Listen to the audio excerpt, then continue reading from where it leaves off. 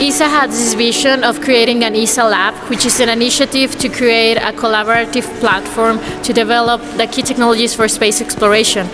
The Swiss Space Center is doing the first demonstrator pilot project for ESA Lab, and we call it IGLUNA.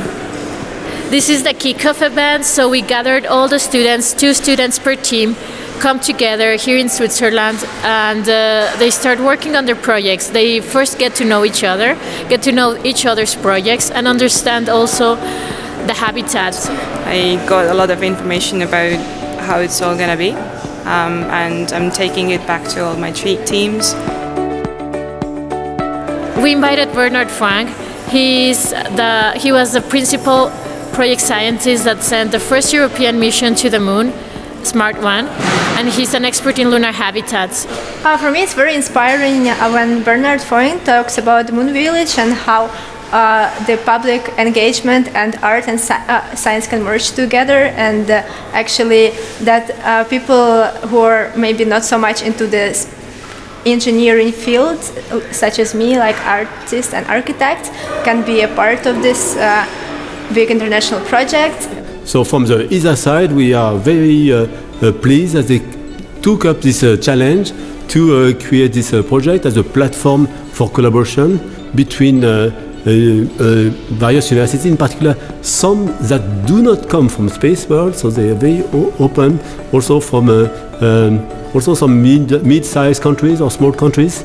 That's a great uh, achievement, but as well, I mean, due to the expertise of the Swiss Space Center, they have also the methodology to help these people to learn, to get up to speed, uh, to work together.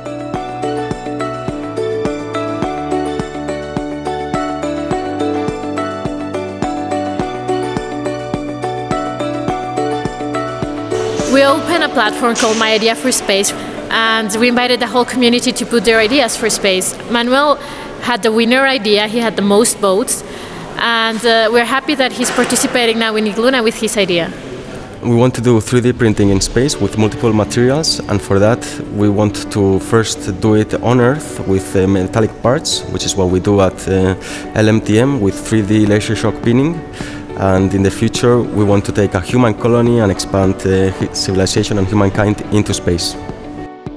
I have one message to take home for my team, and uh, in order to motivate them, it's uh, possible to actually make some something concrete and not only talk about, so just take actions. And in one year, if everything is good, we are we will be in the Matterhorn building an igloo with all the thing we can like on the on the moon. I was very pleased that they are all uh, uh, very uh, motivated by the next step of uh, exploration from Earth to the moon and Mars. And uh, so I see a number of ambassadors that are becoming de facto the moon villagers for tomorrow.